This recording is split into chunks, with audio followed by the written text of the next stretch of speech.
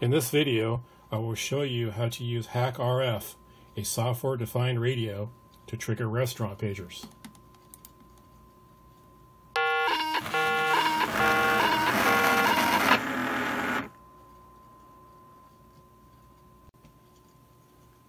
These pagers are made by a company called Long Range Systems.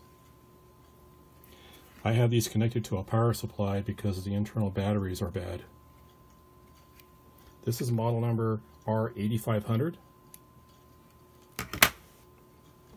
And this is one of their newer pagers, which has a reprogrammable uh, pager number uh, interface on it.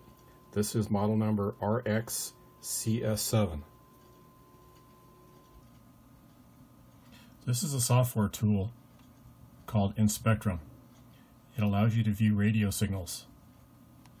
I loaded in one of the pager uh, files here to show you what the radio signal looks like. The pagers utilize FSK, frequency shift keying, and it, you can actually see the on and off transitions here in the signal.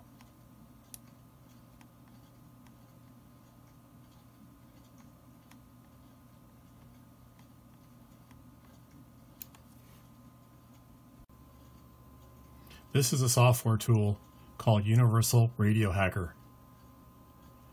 This software tool allows you to visualize radio signals. It will also allow you to make measurements, giving you pulse widths. It will allow you to decode the data here.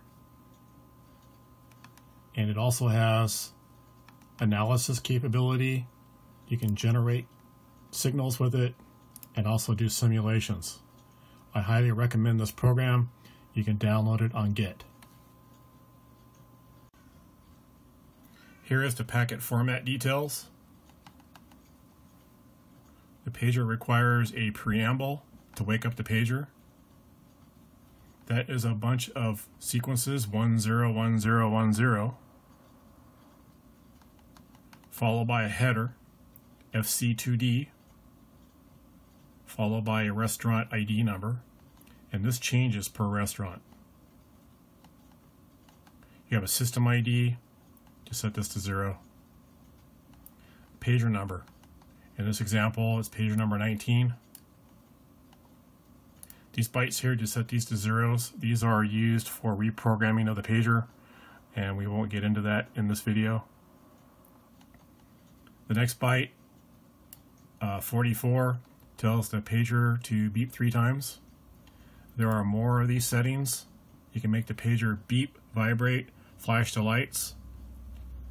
You can get this information on the Long Range Systems website. The last byte is the CRC. The CRC is the sum of all the hex values divided by 255. And here is the full data packet in hex.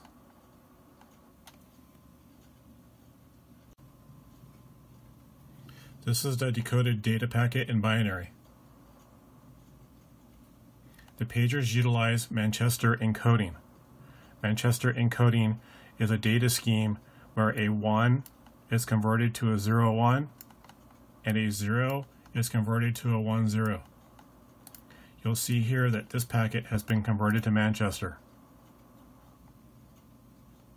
I added additional preambles to the beginning of this packet and I also added the zeros at the end of the packet to serve as a delay between the transmission of multiple pagers. I wrote a Python program that generates the Manchester data packets. Here I enter the restaurant number and the pagers 2, 6, 7, and 10. And I will make them flash for 30 seconds. Okay, so the data file has been written. This is GNU Radio. I have my input file configured. I'm frequency modulating and I'm saving the data to a file and also sending it out HackRF. When I push the green start button, you will hear four radio transmissions and four pagers will go off.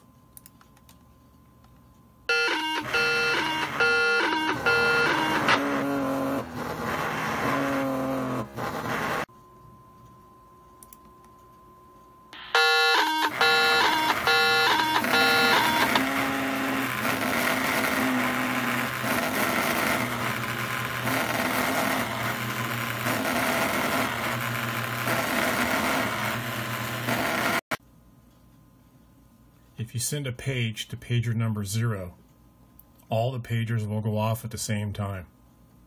Let me show you an example. Restaurant number one, pager number zero. Okay, the data file's been created. Okay, we're back at GNU Radio. We're going to send a page to pager number zero. You should hear one radio transmission and four pagers will go off.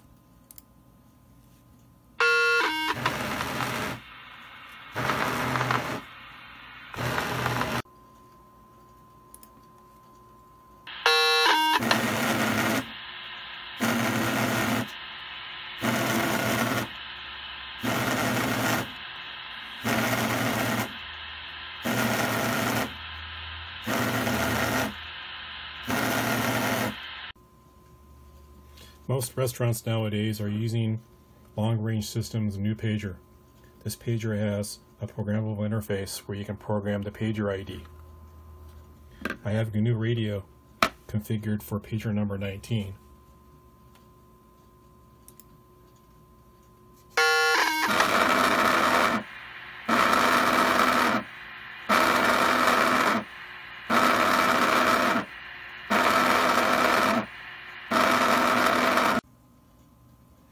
My GNU flowchart, I have the frequency modulation block connected to a file sync. Whenever I run a data transmission through here, the modulated data is saved to this file, and the file name here is called output. If I want to, I can take that output file and I can convert it using the CSDR command shown above. When I convert the file, I can use a standalone program called hackrf underscore transfer to actually play back the signal without having to use GNU radio. All I have to do is pass some arguments to it. The sample rate, which is 2 million, dash T for transmit, the output file, the frequency to transmit on, and the RF power level. This is pretty cool because with the single uh, command hackrf transfer, I can actually run this on my Raspberry Pi computer.